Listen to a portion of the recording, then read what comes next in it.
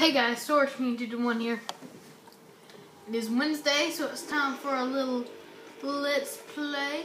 Today we are playing um, Nazi Zombies on World at War. I'm sorry, it's the same, basically the same thing, just a different game on from last week. But here's a little update for you. Um, I am, if y'all seen my yard sale tips video or any video I'm in my uh, building, then you, know I own a little rummage store called uh, Dusty Boots Rummage Store. I'm currently in the process of turning that into a video game, comics, and basically entertainment store. And so I've been buying a lot of video games for my friends, uh, buying an Xbox for my friend, and his games, possibly his DS, some Wii games. You know, I've got a lot of comics, a lot of CDs, uh, getting some DVDs, stuff like that. You know, and I'm planning on hopefully my March being able to reopen as the Nerd Lounge. So anyway, I my I've bought uh, this uh, World at War from my friend at school. And so I was just test driving it, and I was like, hey, you know, let's do our let's play. And I was like, well, what better way, you know, you can do some business and some YouTubing at the same time. So I thought I'd pop this in and play some zombies, make sure everything worked fine, know. Make sure I wasn't getting the short end of the stick on the deal. And for those of you wondering.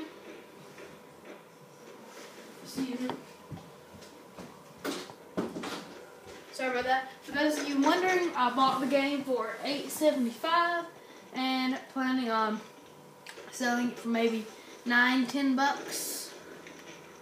Uh, hopefully, I can get a price around there, so I can, as long as I make a no, as long as I make 875 I'll be happy. At least get my money back, so.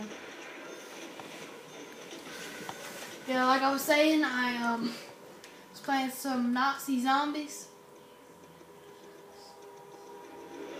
And so I'll let you just uh, watch some gameplay for a minute without me uh, yammering on.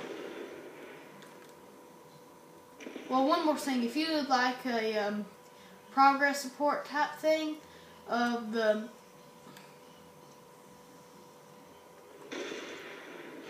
video game store or entertainment store, uh, post it, and so I'll kind of make a little vlog and show you, you know, what we got so far and what I'm getting and stuff like that. So let's just cut to some gameplay.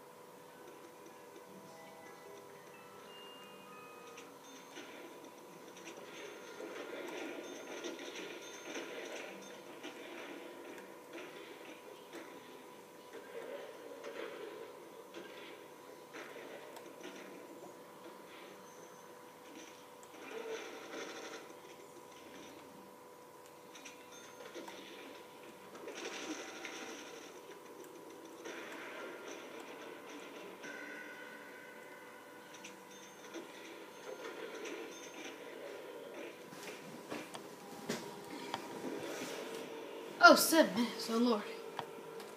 Um, well, sorry it hasn't been much action packed, but I hope you enjoyed. And um, if you would like to see, check out a little update every now and then on the progress of the Nerd Lounge, as my new store will be called. Uh, leave a comment below, and thanks for watching.